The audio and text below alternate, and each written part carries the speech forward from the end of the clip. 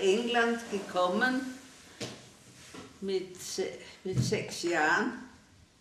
Also war es nicht möglich, dass ich die erste Zeit irgendwas gemacht hätte, außer existieren.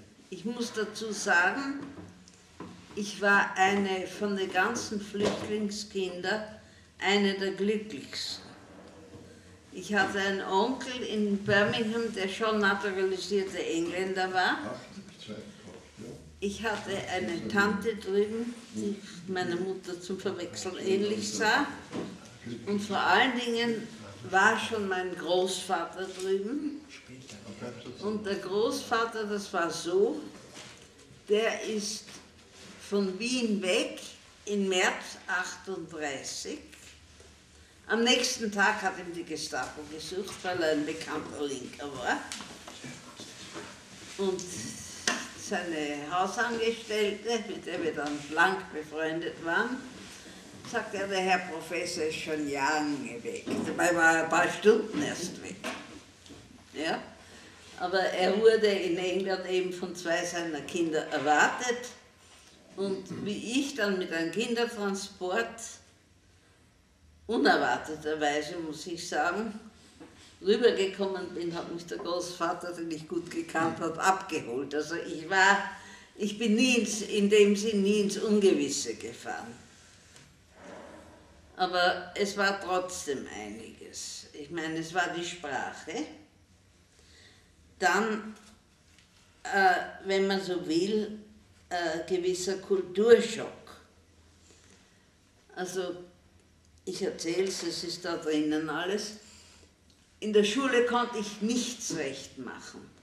Das fing an davon, dass in England für, für kleine Mädchen Strümpfe fast unbekannt waren, Weiße schon gar. Das fing an, das ging weiter, dass ich die Sprache nicht konnte, das ging weiter, das ging weiter, dass ich absolut nicht das war, was sich die Leute unter einem jüdischen Kind vorgestellt haben. Das ist zwar viel früher gemacht worden, aber hellblonde Locken, das haben sie sozusagen nicht erwartet. Dann, das, das werde ich vielleicht noch aus dem Buch auslesen, weil das,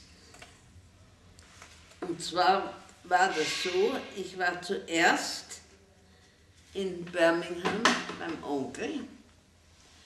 Dann sind nach etwa sechs Wochen die Eltern doch nachgekommen nach England. Und dann haben wir alle zusammen in London gewohnt, in Golders Green, also das ist Nordwest-London. Und in der Schule, wie gesagt, konnte ich nichts recht machen. Zuerst kam ich zu den kleineren Kindern, die wollten mit mir nicht spielen. Ich war sechs und die waren vier und fünf und die war groß, also das war es nicht. Dann kam ich in eine Schulklasse, da, da verstand ich nichts, da war ich auch nicht ausgerüstet, hatte die Sachen nicht. Und das andere, was ich, und dann, wie wie der Krieg ausgebrochen ist oder noch nicht ganz ausgebrochen war, haben mich die Eltern geschickt aufs flache Land nach Wiltshire zu einer alten Engländerin, bei der wir in Ferien waren vorher. Also mir kam sie vor, dass sie nie jung gewesen war Sie war ein Fräulein, war Erzieherin gewesen für adelige Kinder. Also mir täten diese Kinder heute noch leid. Ja? Absolutes Benimm und tausend Tabus und beten früh und mittags und abends und in der Schule auch. Und ich hatte ja den christlichen Gott nie gekannt. Und für mich ist er bis heute synonym mit Hiebe mit dem Rohrstab. War in Wien undenkbar bei uns. Das, es war schon, sagen wir, tabu oder verboten, dass man ein Kind Watschen gibt. Ja, aber Erwachsenen haben auch Nerven und es rutscht einmal die Hand aus. Aber gezielt mit einem Rohrstabel, also das war völlig undenkbar. Und das war dort gang und gäbe, zu Hause und in der Schule. Und meine Mutter hat gesehen, da steht Rohrstabel und hat gedacht, das ist nur für die Hunde. Mein persönliches Fazit ist, wer, wer Hunde hat, hat Kinder auch. Ja, und von, von dort bin ich, also ein völliges, völliger Wechsel. Von dieser alten Miss bin ich, bin ich dann wieder zur Mutter und zur Tante, zu einer Familie in Oxford. Und die Familie ist heute noch meine Familie. Bin hingekommen, wurde aufgenommen, war Familienmitglied und alle Ferien später dort verbracht und so. Und das, also der, Familie verdanke ich ungeheuer viel. Der Mutter vor allem, aber auch die Geschwister. Und wie gesagt, die Ziehschwester ist vor drei Jahren gestorben und wir sind, wir waren Geschwister und ich bin heute mit ihrem Sohn und mit denen, das ist Family. Also das muss ich dazu sagen, so unterschiedlich sind die Sachen gewesen. Darf ich dich nur fragen, äh, ähm, du hast sechs Jahre, ja. äh, wie, du nach, äh, wie, du, wie es klar war, dass, äh, dass du nach England äh, ja. gehst. Ähm, kannst du dich noch erinnern, äh, auch wenn du sagst, es war für dich nicht so eine Ungewissheit wie für die anderen Kinder, weil du gewusst hast, dass dein Großvater dich abholen wird, aber mit sechs Jahren äh, die Entscheidung plötzlich äh, das Land zu verlassen. Äh, wie hast du das, wie hast du damit, wie bist du damit umgegangen? Eigentlich war ich scheinbar immer irgendwie abenteuerlustig. Hm. Und das war ja so, die Plötzlichkeit war ja nicht so plötzlich weil meine Eltern ja angesucht haben und so, und es war vorgesehen, dass sie knapp nach Weihnachten, dass wir alle drei fahren. Und die Plötzlichkeit war nur, dass ich sechs Wochen früher mit dem Kindertransport gefahren bin. Aber wir waren eingestellt, dass wir weg, dass wir wegfahren. Also es war nicht so schlimm und wie gesagt, ich habe gewusst, zu wem ich komme den Onkel habe ich überhaupt nicht gekannt, die, die Tante nur sehr wenig, ich glaube von einem Wien-Besuch. Aber der Großvater heiß geliebt und wir waren dauernd dort, also den, mhm. der war völlig außer Frage.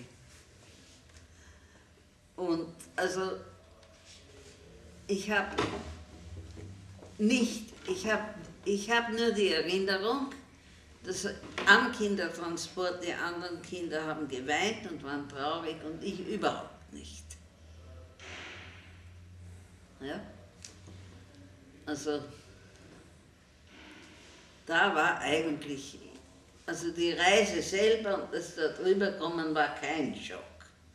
Der Schock kam erst dann, zum Teil mit der unverständlichen Sprache, und Schule.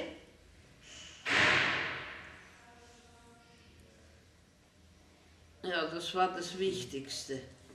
Wie gesagt, in Birmingham war die Schule noch einigermaßen zum da machen, obwohl ich also mit der Kindergartenklasse nichts anfangen konnte und sie mit mir schon gar nicht. Aber in London war es eher dramatisch.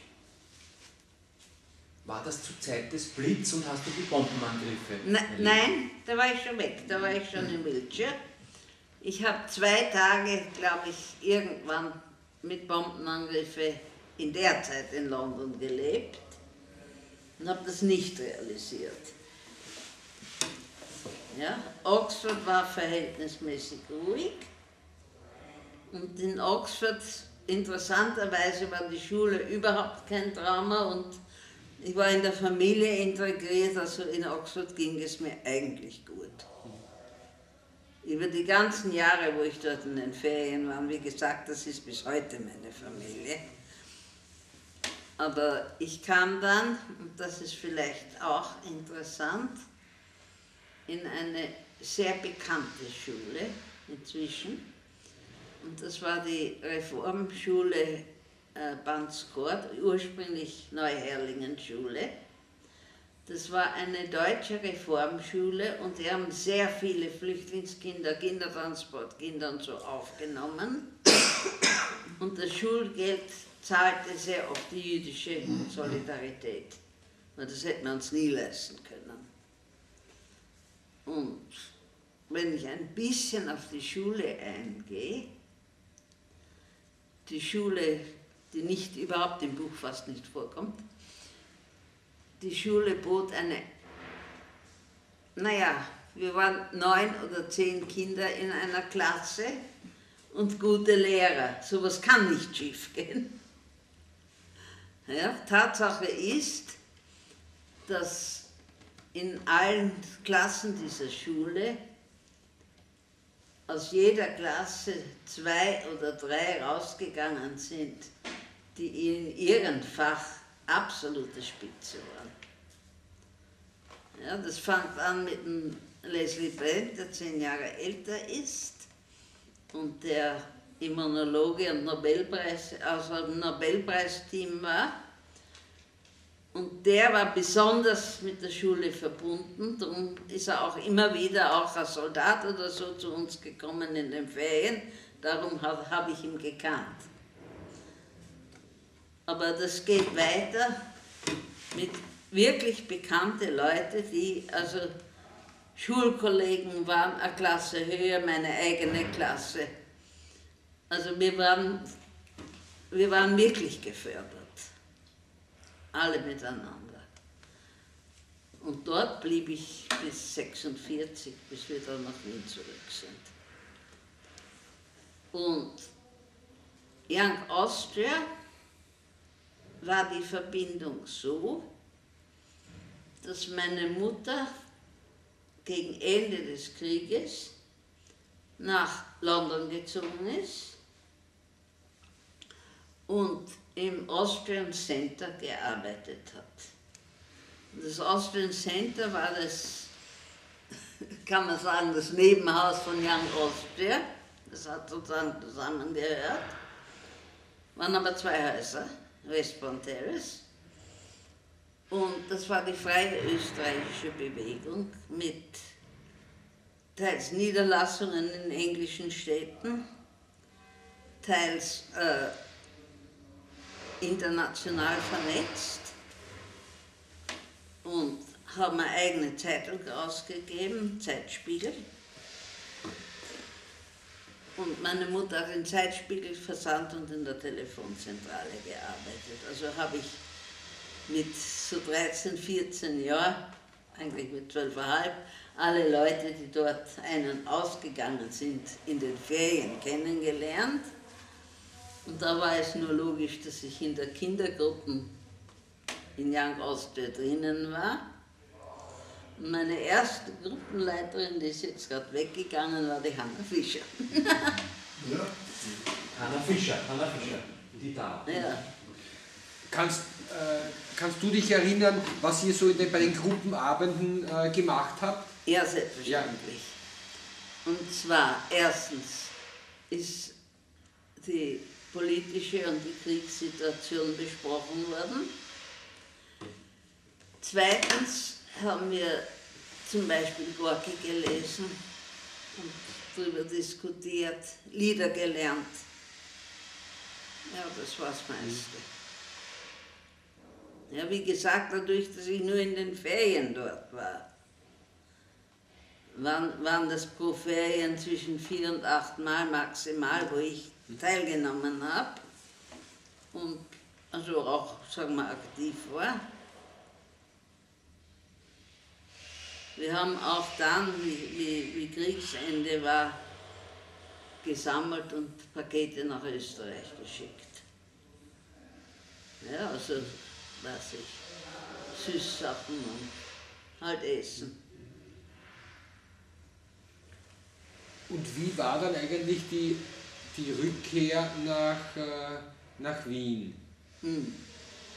Da geht man, ihr seid weggegangen, da warst du sechs Jahre, dann hat man die Schwierigkeit mit der Sprache, äh, auch die Frage auch, äh, habt ihr euch in, in England als, noch als Österreicher gefühlt oder war die Perspektive, man hat ja, heute weiß man ja, wie es ausgegangen ist, aber damals hat man ja nicht gewusst, wie der Krieg, also ab einem gewissen Zeitpunkt schon, wie der Krieg ausgehen wird, ob man jetzt hier bleiben wird in England, ob man jemals wieder zurückkommt. Äh, ja, also da gibt es äh, zwei, drei Erzählungen. Als Österreicher, nicht national, aber von, von Landschaft und, und Leben her, habe ich mich eigentlich immer gefühlt. Ich bin mit, in Wien noch vor 38 mit klassischer Kammermusik groß geworden und da, da ist mir eine Begebenheit in Erinnerung, wie auf ein, ein Radio die kleine Nachtmusik gespielt hat und ich habe das gekannt und habe gesagt, das ist zu Hause gespielt worden. Und das war mir sozusagen ein Begriff, genauso wie Urlaubsbilder, äh, Urlaubsbild aus Tirol. Also ich habe noch Wälder und Bäche in Erinnerung gehabt, die es in dieser Form in England überhaupt nicht gibt, nicht einmal in der Lake District. Dann habe interessant was in der Schule. Wir galten alle als Deutsche, die ganzen Flüchtlingskinder. Und jetzt, über 60 Jahre später, habe ich, fest, habe ich festgestellt, die, die meine Freunde waren in der Klasse, mit denen ich jetzt wieder in Verbindung bin, waren durchaus Österreicher. Ja? Also das hat sich sozusagen ich würde zwar sagen, unwillkürlich ergeben. Also bei der einen, die ich jetzt in Mai getroffen, die mich jetzt in Mai besucht hat, in Israel lebt, habe ich die ganze Zeit gar nicht gewusst, dass aus Wien ist. Ruth Rimon, oder wer? Ja. Wie heißt sie? Aus Israel? Die Freundin, wie heißt sie? Na, jetzt heißt sie Erika Herrmann, geboren Erika Reichmann. Und wir haben uns E-Mail geschickt, dann sagt sie, ich sag was von der alten Donau, ja, da hatte mein Vater einen Garten. In der Klasse wollte ich nicht fragen, weil es irgendwie verböhnt war, da große Unterschiede zu machen nach den Nationalitäten. In der Klasse hatten wir mindestens vier, was ich weiß, Österreicher, Deutsche, Engländer und der Tschechen aber vielleicht noch mehr, weil man hat das einfach nicht, das, das war zu sagen schlechtes Benehmen der Langfragen. Und dann die Rückkehr nach Wien, wieder eine andere Situation? Ja, da muss ich sagen, durch die Mitgliedschaft in Young Austria und dadurch, dass meine Mutter aktiv war und auch in der KP aktiv war, kam ich nach Wien zu der Zeit in eine gewisse Gemeinschaft hinein, außerhalb von Schule und Beruf. Und in der Schule gab es die skurrilsten Dinge und habe ich mich also relativ schwer getan, Sprache komplett. Ja, dazu muss ich sagen, wie ich am Land war in England oder in Oxford, am Land war es absolut verboten, auch nur ein deutsches Wort. Und in Oxford und dann wollte ich nicht. Ich wollte nicht auffallen. Und ergo dessen war das Deutsche zum. Wir haben zwar Deutsch in der Schule gehabt, mit den vielen deutschen Kindern und Lehrern, aber Deutsch und sogar das österreichische Deutsch war weg. Das habe ich mit 14 sozusagen von vorne anfangen müssen. Das war auch nicht gerade leicht. Ja, das, ich habe damals gesagt, damals scherzhalber, bevor ich noch einmal Deutsch lerne, lerne ich lieber Chinesisch. Wie wir dann wirklich einmal Chinesischkurs gemacht haben, habe ich festgestellt, ich habe recht gehabt.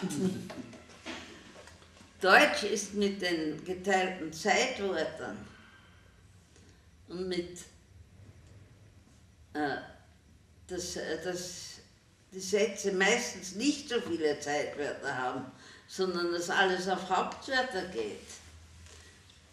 Schon schwer genug.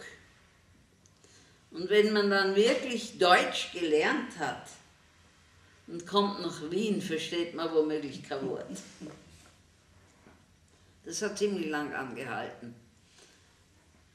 Da habe ich schon Abschluss gehabt von der vierten Gymnasium und bin in die Handelsschule gegangen und habe noch immer mit Deutsch Schwierigkeiten gehabt, was sich sehr nachteilig zum Beispiel bei Stenografieren ausgewirkt hat. Und das andere war, dass ich mir gesagt habe und sagen habe müssen, bis heute zum Teil noch, wo warst du unterm Krieg? Ab einem gewissen Alter, was hast du gemacht dort? Und äh, meine Gleichaltrigen, ja, die sind ja unterm Hitler in Schule gegangen. Das heißt, Antisemitisches war bei denen so in Unterbewusstsein, dass sie selber nicht gewusst haben. Und das war natürlich schwer.